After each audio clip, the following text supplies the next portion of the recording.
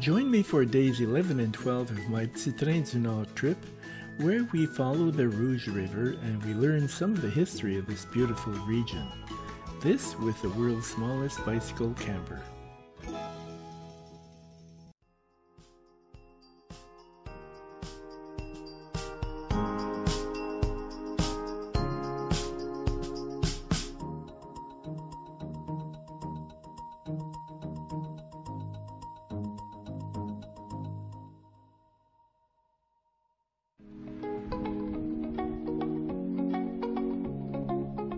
I'm very happy with this setup. It rained profusely last night and everything is, has been kept dry. The table and the bench um, and everything on the table. Only thing is I'm going to have to try to work out a way to reduce the sag because uh, that reduces the height inside. I was hoping to get away before the rain, but such is life.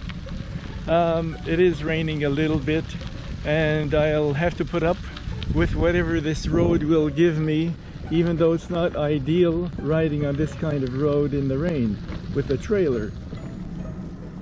I just left Nominingue. I'm back on the Petit Train du Nord heading south and the sky is getting brighter. I hope. This part of the trail is pretty rough. Uh, which makes me, uh, well, slows me down a little bit, but not much. I'm maybe going about 15 to 18 kilometers an hour instead of 20 or 22. It isn't a bad thing to slow down on a nice trail like this.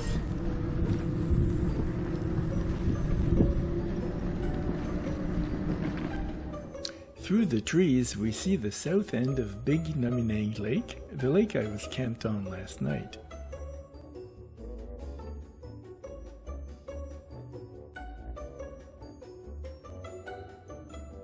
This bridge spans the strait that joins Little Nominingue Lake on the right and Big Nominingue Lake on the left.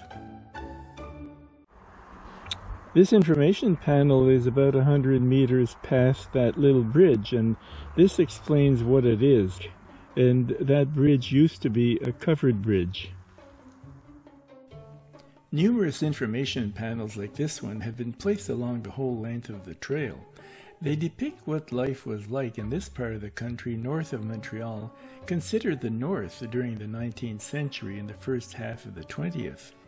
They tell the story of how the railway allowed colonization, agriculture, and forestry to thrive.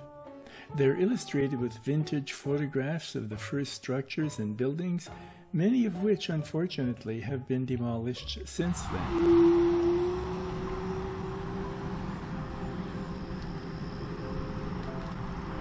Here's a nice, very pretty rest stop.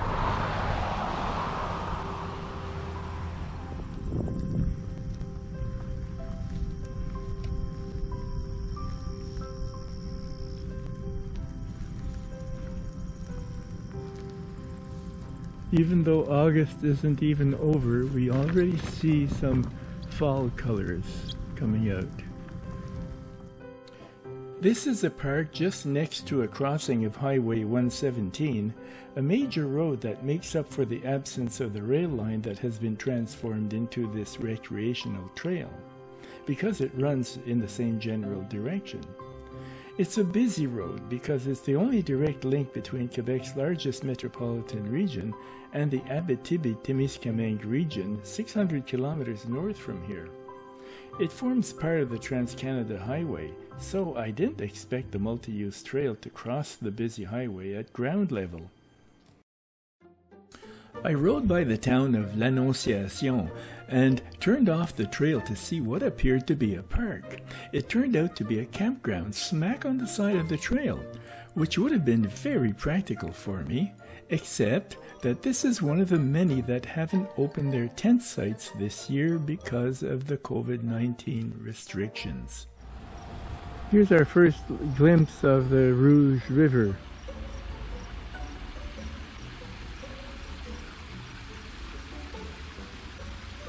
The trail passes through some industrial areas as well. Uh, this appears to be a construction materials company and a very ugly storage shed to the right. This is called the Interpretation Center for Migrating Birds. It aims to educate the public about the importance of the protection of natural areas. They say that from the observation deck, we can observe great snow geese, Canada geese, several species of ducks, and a multitude of other birds that find refuge in this natural habitat. The trail goes through the town of Rivière Rouge, a town of about 5,000 people, and I'm stopping here to pick up some masks and food for lunch. A pasta salad bought at the IGA across the street, an apple and some nuts that I have left over will be my lunch for today. Here we're riding along the river, but we can hardly see it for a rather thin row of trees. Now I don't know whether we'd really want them to cut the trees down, but it would be nice to see the river. So how can we have both? Well, I guess the way to have both is to ride the river with a canoe or a kayak. There's a rest stop ahead and uh, maybe we'll have a view of the river. I'll stop and see.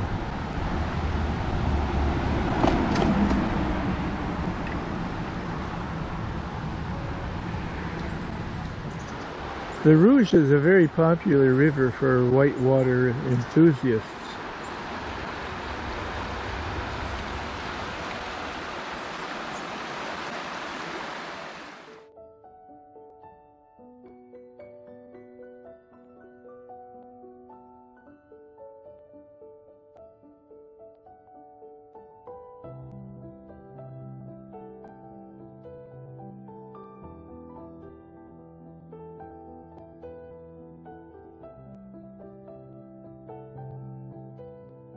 Now just imagine what it looks like on a nice sunny day.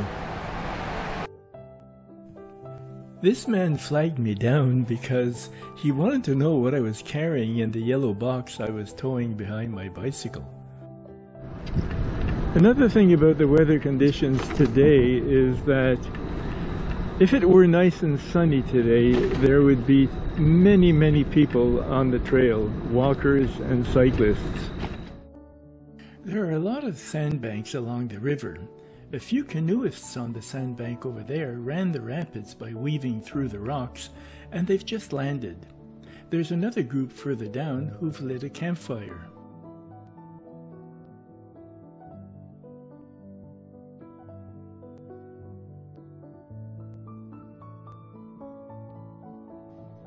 Here's a nice rest stop. I had lunch here four years ago it was really good. They offer a very nice menu. I'm going to leave the trail temporarily to go to the village and get some food for tonight.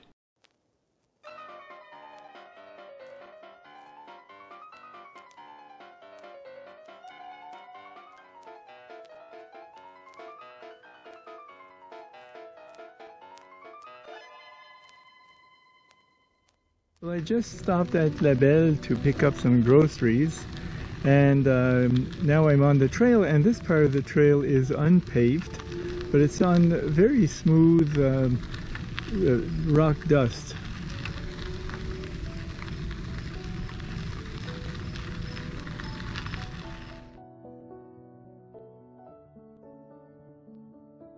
We're now riding on a straight portion of the trail the only straight section, 6 kilometers long.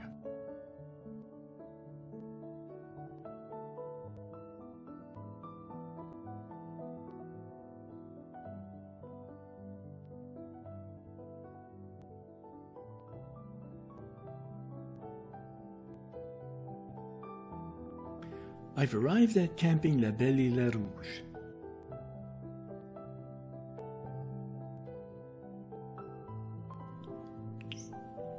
Isn't this wonderful?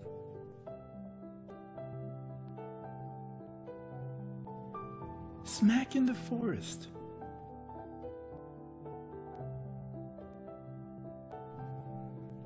No big campers and RVs?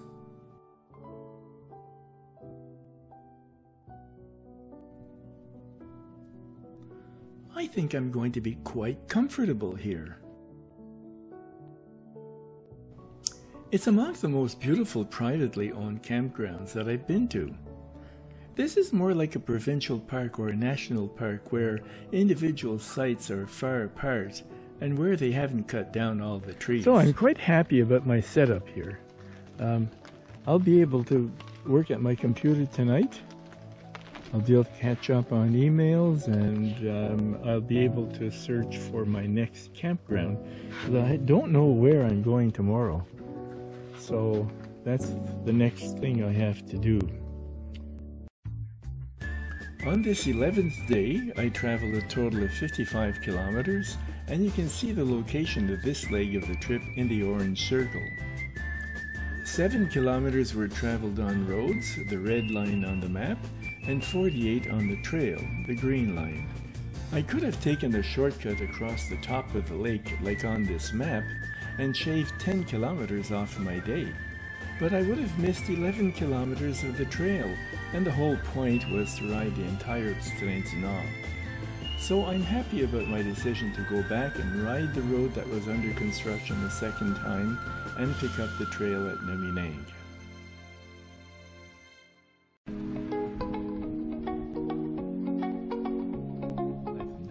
Slept well last night Except I woke up in the middle of the night to go for a leak and it was raining so hard I had to use my bottle. And this morning, uh, little animals had found my bag, my garbage bag. I had forgotten to hang it up in a tree. But fortunately, they didn't get at my food which is in a safe place. Well, I hope. The weather forecast is for rain all day today, but the next nine days should be sunny. So I'm going to stay here an extra day and leave tomorrow. Before going online to look for a campground for the next day, I had to look at some of the footage I took at the beginning of the trip.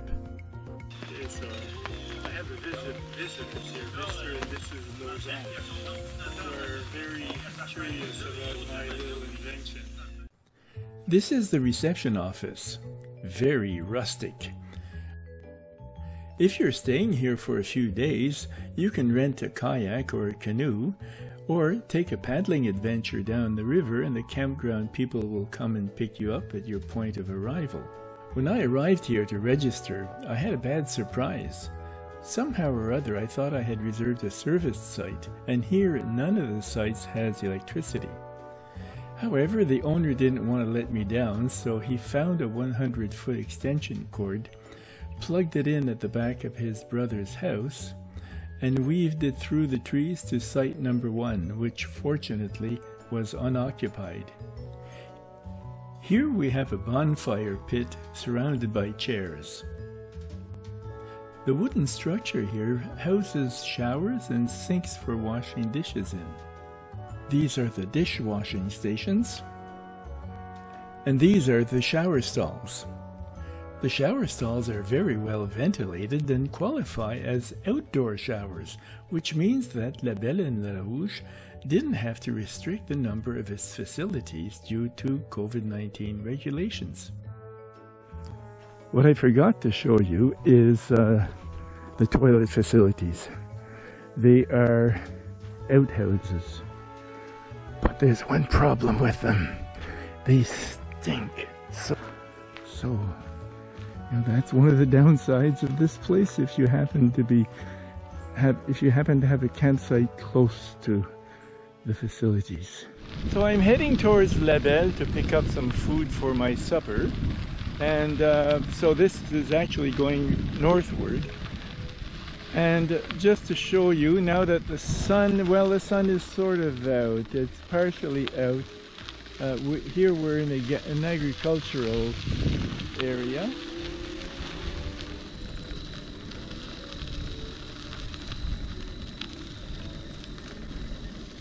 These are the Iroquois Falls on Rouge River at the entrance of La Belle Village.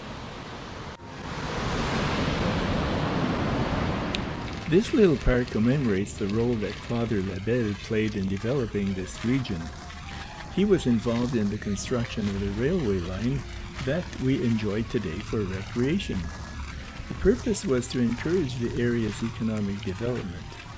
One of the objectives was to put an end to the emigration of French Canadians towards New England, where many had found employment in textile mills. In 1888, he was named Deputy Minister of the province's Department of Agriculture and Colonization. On the whole, he was responsible for 5,000 people settling in the Laurentians. I rode around Labelle for a while and then dropped in the little supermarket. I picked up a steak and a can of beer to take back to my campsite for supper. Then I rode the eight kilometers back to the campground, enjoyed a really good pan fried steak, and hit the sack after checking my emails. Today, on my shopping trip to Labelle, I covered 18 kilometers on a very straight section of the trail without the trailer. That's an abbreviated story of days 9 and 10 of my trip. If you want to continue your way southward on the Saint Trail, join me next week when I publish the last two days on the trail, days 13 and 14. If you haven't done so yet, subscribe to my channel by clicking on the red icon at the bottom right of your screen. If you'd like some information about electric bicycles and bicycle campers, or if you'd like to buy my book, Sailor Without a Boat, go to my website, www.robertberiault.com. Thank you for having accompanied me on my trip, and don't forget, never quit cycling.